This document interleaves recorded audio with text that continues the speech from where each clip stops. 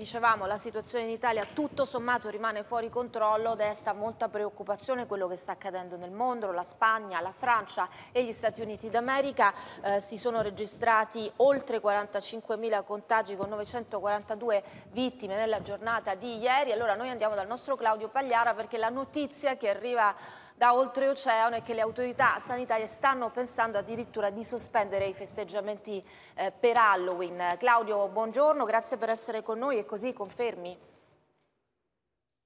Beh sì, buongiorno. Questo, questo anno, questo 2020, vede tutti i principali appuntamenti purtroppo eh, sospesi, non ci sarà la maratona eh, di New York, non ci sarà eh, l'Halloween, almeno la grande parata eh, sulla quinta strada sarà ovviamente per i bambini possibile andare casa per casa a, chiedere scherzetto dolcetto eh, ma eh, gli assembramenti sono, eh, eh, sono vietati eh, così come molte altre manifestazioni che, si, che avverranno c'è eh, naturalmente che incombe il Thanksgiving in questo momento tra l'altro a New York eh, che come sappiamo ha una forte percentuale di popolazione eh, ebraica, bene eh, ci sono i festeggiamenti delle feste ebraiche e proprio questi festeggiamenti eh, con tutto ciò che comportano stanno creando allarme perché anche qui a New York dove il virus è stato schiacciato si assiste a una certa ripresa proprio nella comunità